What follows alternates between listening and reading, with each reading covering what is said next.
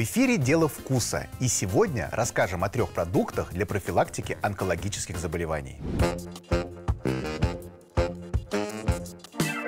Продукт номер один – помидоры.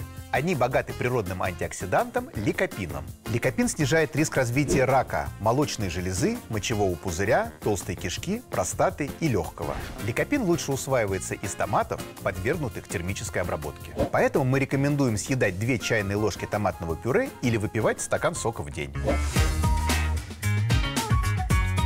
Продукт номер два – зеленый чай. В нем много антиоксидантов, катехинов и витамина С. Важно! В напитке содержится кофеин. Он препятствует усвоению фолиевой кислоты, а она необходима для поддержания нормального уровня гемоглобина. Выпивайте не более трех чашек в день. И помните, мы не рекомендуем зеленый чай пациентам с диагностированной глаукомой и гипертонией.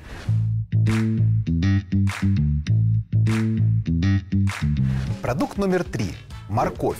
Этот овощ содержит защитное вещество фолькаринол, антиоксиданты каротиноиды и большое количество витамина А. Все это делает морковь уникальным овощем. Мы рекомендуем съедать в день по одной небольшой морковке. Ее мы и возьмем для приготовления полезного кекса. Помимо моркови нам понадобится 2 яичных белка, 30 граммов муки, подсластитель стевия и любимый йогурт.